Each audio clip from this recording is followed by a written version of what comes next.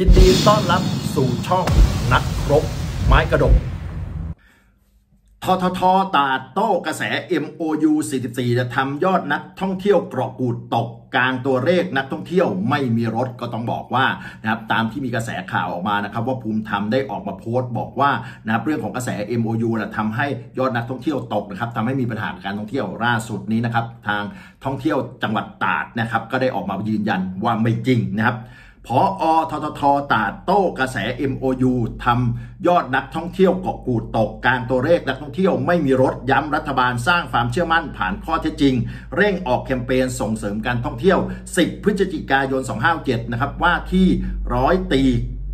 ก กะกดนะครับโอภาสผออการท่องเที่ยวแห่งประเทศไทยสำนักงานตาดกล่าวถึงสถานการณ์ภาพรวมของการท่องเที่ยวเกาะกูดจังหวัดตาดนะครับหลังจากที่มีการนำเสนอข่าวเรื่องการแบ่งปันผลประโยชน์ร่วมกันทางทะเลนะครับกัมพูชา MOU 44 จนมีการออกไปให้ข่าวว่าได้ให้การ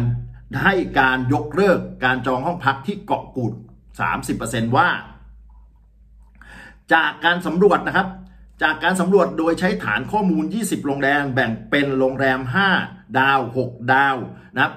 จำนวนโรงแรม 5 ดาวเนี่ย6แห่ง 4 ดาวเนี่ย3แห่ง 3 ดาว 9 แห่งและ 2 ดาว 2 แห่ง ใน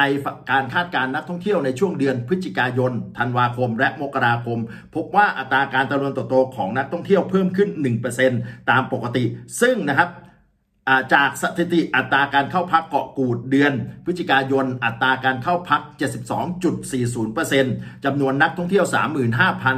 570 คนแบ่งเป็นคนไทย 14,228 คน ชาวต่างชาติ 21,342 ราย สร้างรายได้ 205จุดนะครับ34 ล้านบาท ขณะที่เดือนธันวาคมอัตราการเข้าพักนะครับ 74.51%จำนวนนักท่องเที่ยวนับ37,420 คนแบ่งเป็นคนไทย 14,968 คน ชาวต่างชาติ 22,452 คน รายได้ 2 2 1 6.98 ล้านบาท และเดือนมกราคมอัตราการเข้าพักนะครับ 77.52%จำนวนนักท่องเที่ยว 39,800 กับ 10 คน แบ่งเป็นคนไทย 15,224 คน ชาวต่างชาติ 23,886 คน รายได้